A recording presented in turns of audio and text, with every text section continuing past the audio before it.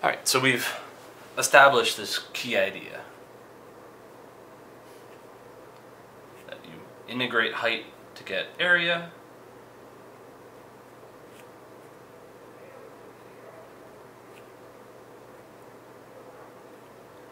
And you integrate cross-sectional area to get volume.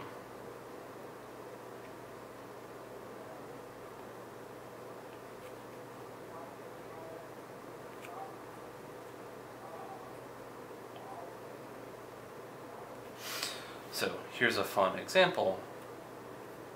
You know, maybe you want to know how many, how much stone there is in the Pyramid of Giza or something. We want to find the volume of a pyramid.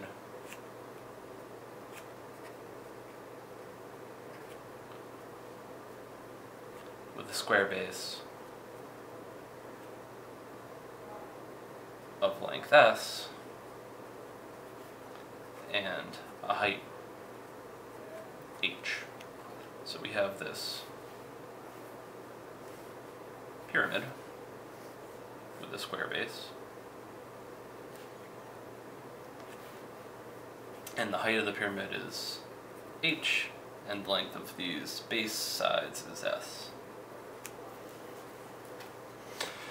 And according to our sort of mantra up here, to find the volume of this pyramid, I can integrate the cross-sectional area.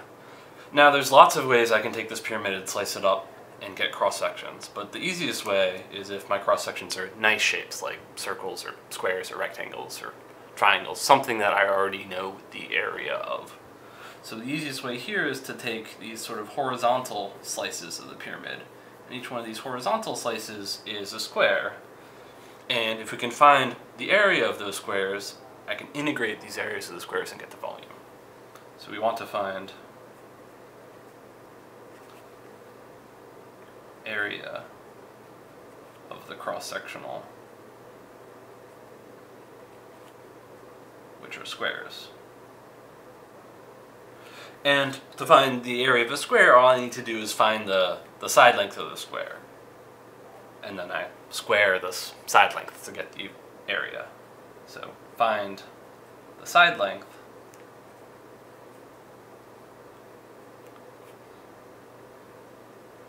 square it.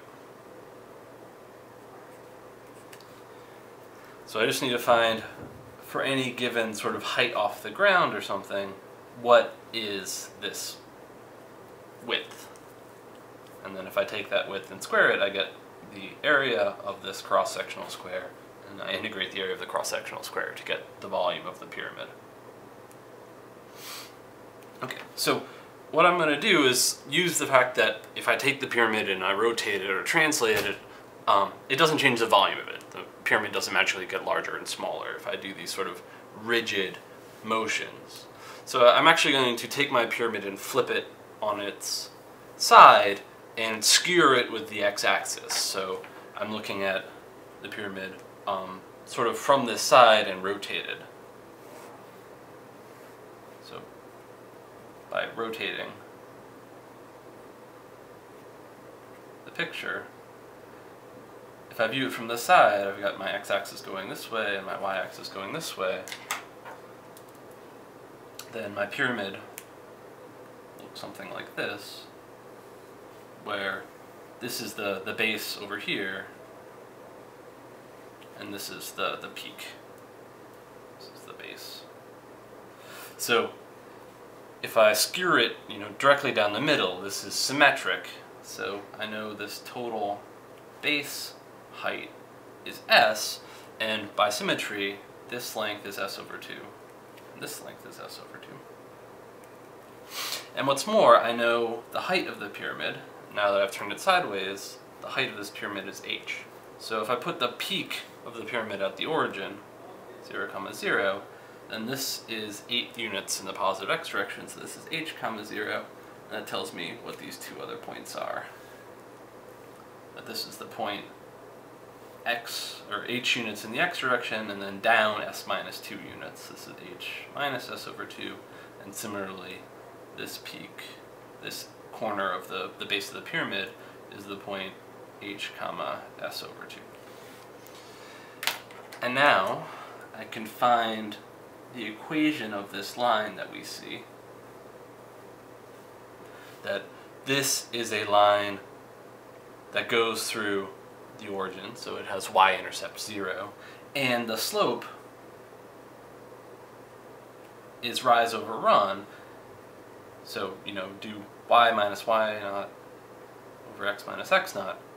So slope is the change in y over the change in x. So s over 2 minus 0 over h minus 0, which is s over 2h. So this line has slope s over 2h, and it goes through the origin, so this is the line y equals s over 2hx. Similarly, this line down here, either using the same argument or using symmetry, because we just sort of take that side and reflect it across the line, the uh, x-axis, this is the line y equals minus s over 2hx. So the heights of these cross-sectional squares, like if this is x naught here, then, you know, this is s over 2hx naught, and this distance is also s over 2hx naught because you go down. So, putting this together, this height of the cross-sectional square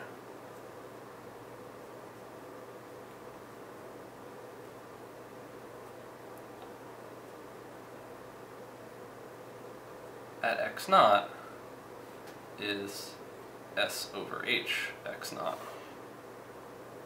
So the area of the square is this squared. The area of the square is the side length squared. So the cross-sectional area is s over h x naught, the quantity squared. So finally, we found the area of this cross-section that if we've gone sort of x naught units down into the pyramid, the cross-sectional area is s over h over x naught squared. Now we just need to integrate that cross-sectional area.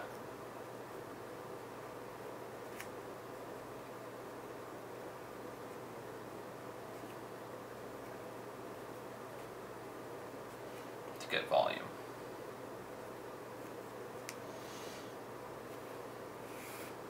So remember that someone ahead of time, you know, went out and measured the height of the pyramid and the length of the pyramid.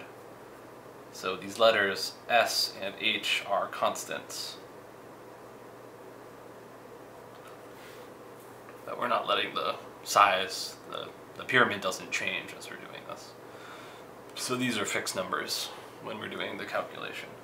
So the volume, as we integrate from, you know, the smallest x value of 0 to the largest x value of h,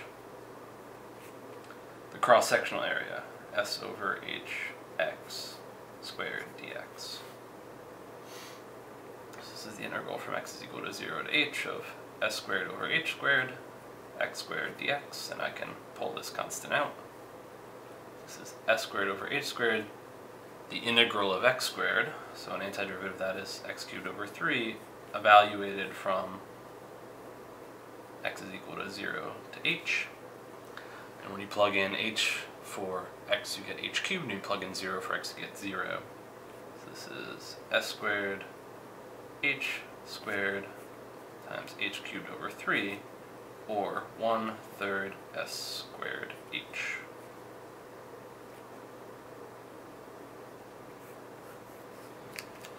Um, which isn't so surprising that if you've looked at formulas for various things that are like cones, um, any shape where the cross-sectional area sort of grows like uh, a square, you're going to get this one-third area of base times height. That this form, one-third area of base times height, um, is sort of a common formula for shapes like this. So here's you know some nice exercises. You know these actually are just solids of revolution, but uh, derive the formulae, formulas for volume of a sphere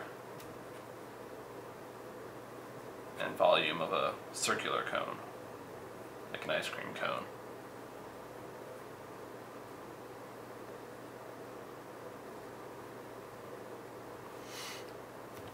So this is actually fairly easy. Um, that if my sphere has radius r,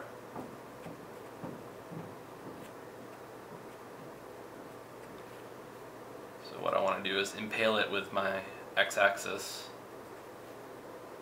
from minus r to r, and then again integrate the cross-sectional area. So you need to sort of pick an x naught, and then find what the area of this cross-sectional circle is.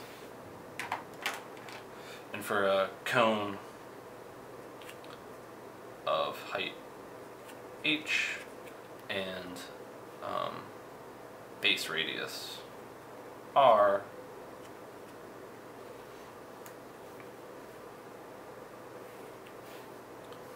you're going to do something very similar to what we did with the pyramid, that you're going to use the picture to figure out, you know, sort of what the equations of the top and bottom lines are when you view it from the side, and then use that to find these sort of cross-sectional circles.